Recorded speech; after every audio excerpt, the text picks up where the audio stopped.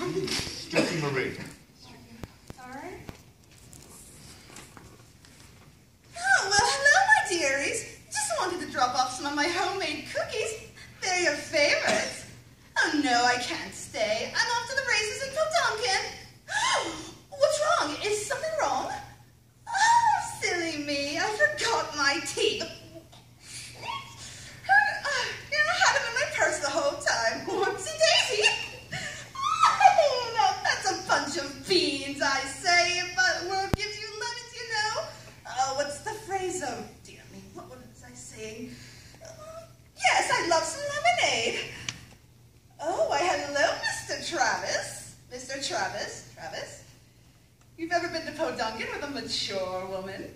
I'm not there for the ponies. I'm there for the stallions. And lately, I'm only a winner. So what do you say, Mr. Hot Stuff? Oh, you're not scared by an innocent little lady, are you? Great job, baby.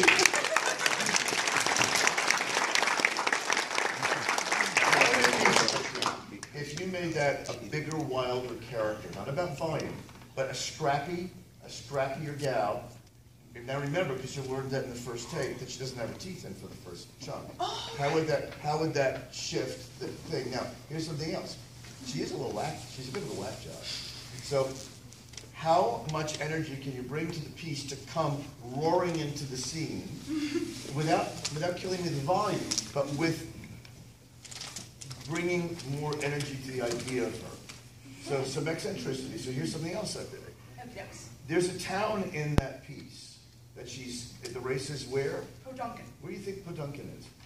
Well, when I think of Podunk, I think of the boonies. Keep going. Oh, trailer park trash. Where might that stereotypically, not that it's true, but stereotypically, because this medium deals in uh, big sketches and grabbing big ideas, where might that, where might that trailer park be? Is it, is it in northern United States, southern United um, States? Appalachians? Okay. 20 miles away from here. Those are questions you gotta ask yourself. Go, All right. go.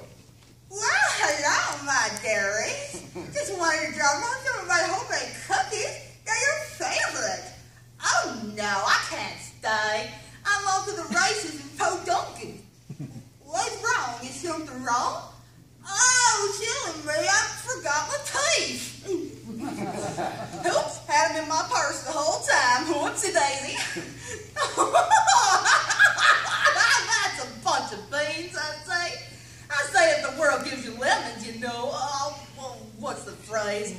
Oh, dear me, what was I saying? Oh, yeah, I love some lemonade. Oh, hello, Mr. Travis. You ever been to Poduncan with a mature woman? I mean, I'm not there for the ponies. I'm there for the stallions. And lately, I'm only a winner. so what do you say, Mr. Hot Stuff? Oh, you're not scared by a little innocent old lady, are you? Bravo.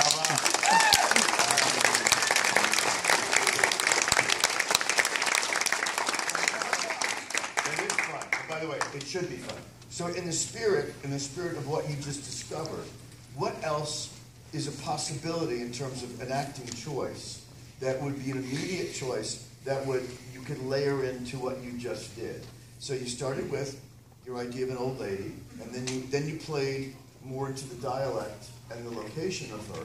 What would happen if you could blend those elements completely and layer in that nutty energy and the pace that you brought to the first one? All those elements can coexist. One does not negate the other. Got it. And that did, you did so well, and you and you figured it out as you went. You figured it out as you went. Yeah, I do a lot of voice work online, actually. That's good. Like, uh, one of the people before me, I've been on a lot, I've been on a podcast, I've done some abridged work. Well, keep keep pursuing the acting element of it. Get the hell out of here. Oh, okay, okay. Speaking of strips. Yes, yeah, it's my turn now, baby. Oh, Daddy's I-